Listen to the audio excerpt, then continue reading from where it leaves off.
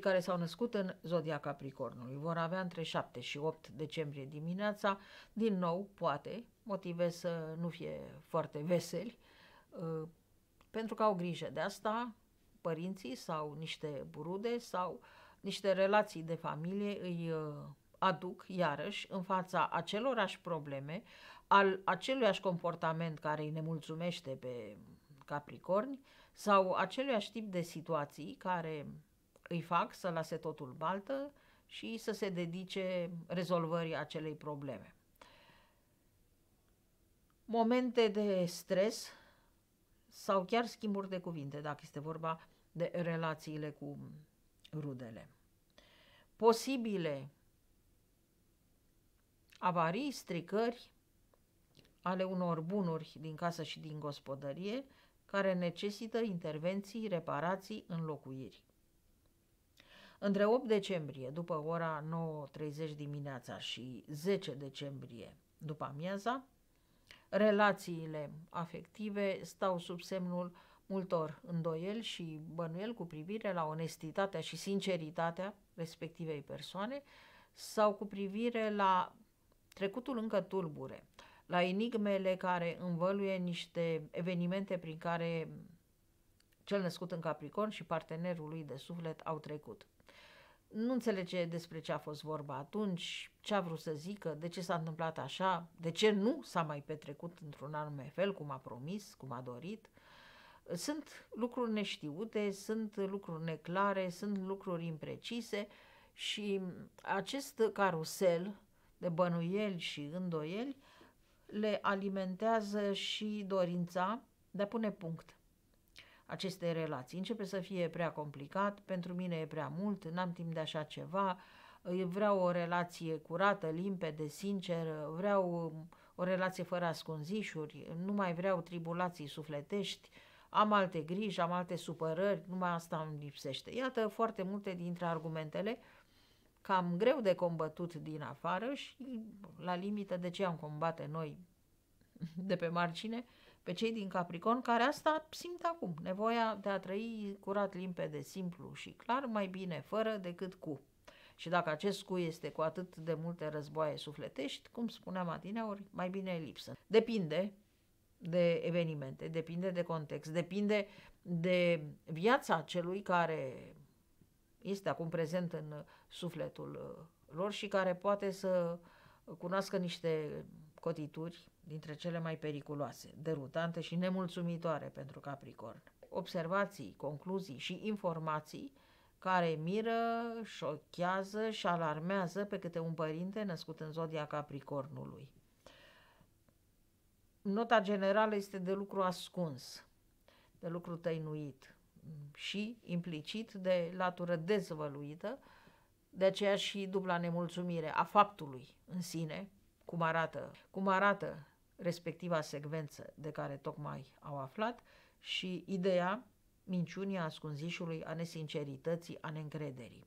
Și concluzia firească, schimbarea atitudinii față de copii, schimbarea unor raporturi, felul în care comunici, felul în care îți exerciți autoritatea, felul în care aplici o pedeapsă, felul în care aștepți o reacție de la copil în funcție de această nouă tactică pedagogică. Între 10 decembrie, după ora 19 și 12 decembrie,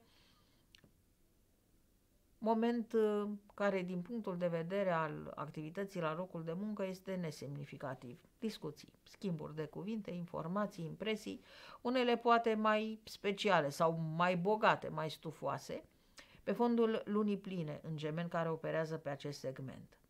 Mai important mi se pare însă efectul lunii pline asupra sănătății. Este vorba de axa caselor a 6 așa 12, controlate de gemeni și săgetător. Și dacă în gemeni iarăși nu văd lucruri cu totul speciale, spre săgetător și spre casa 12 da, se văd. Acolo este soarele în tranzit, deci este suport discret, suport din astral care dă energie, dă vigoare, dă capacitate de refacere și schimbare a mentalului, mai mult optimism, mai multă încredere sau mai multă limpezire, ieșire din haos, ieșire din întuneric, ă, părăsire a zonei umbrelor și părăsire a tenebrelor. Toate acestea sunt niște lucruri rezolvate de forța uriașe a soarelui în tranzit prin săgetător, care mistuie gunoaiele, transformă în cenușe ce nu trebuie și păstrează ceea ce este valoros și viguros.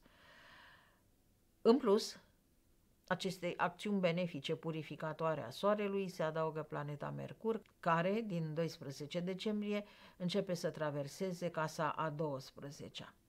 Mercur în săgetător poate să le ofere o susținere verbală de care, pe moment, nu știu, vor afla mai târziu. Un ajutor nesperat, posibilitatea de a fi sfătuiți sau de a extrage o concluzie rapidă în condiții atipice unui mod de viață. Să spunem că ei sunt pe cale să facă un anume lucru, au luat o decizie.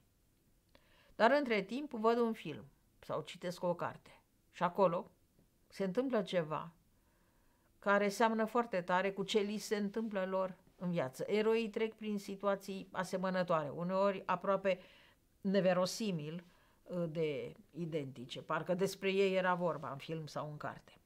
Și acolo se rostesc niște fraze și curge scenariul în așa fel încât ceea ce se petrece este de natură să le smulgă vălul de eroare de pe față. Brusc înțeleg că nu despre asta era vorba, că nu au luat o decizie bună, că nu așa trebuie să facă, sau că pur și simplu li se indică natura realității de care sunt străini.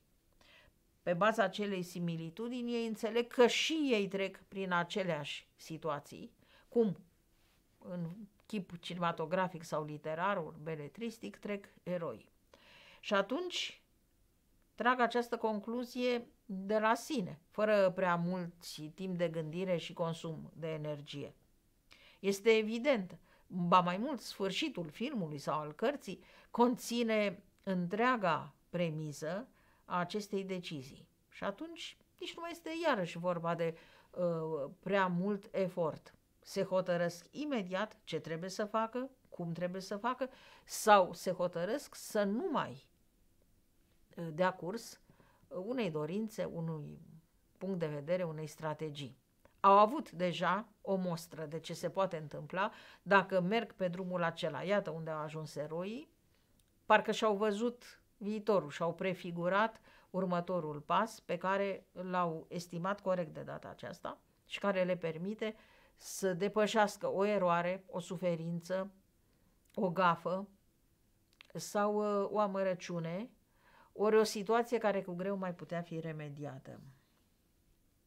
Începând cu 13 decembrie, luna va începe să tranziteze casa a șaptea, relații parteneriale marcate de stări de spirit ostile sau contradictorii, ori în disarmonie cu ceea ce doresc, vor și pot capricornii. Nu se înțeleg cu unele persoane, n-ajung uh, la nicio soluție, nici unul, nici celălalt, rezistență de o parte și de alta, spirit refractar, aș îndrăzni să spun chiar și obtuz, și incapacitate de a medita și asimila adevărurile sau avertismentele lansate de un partener.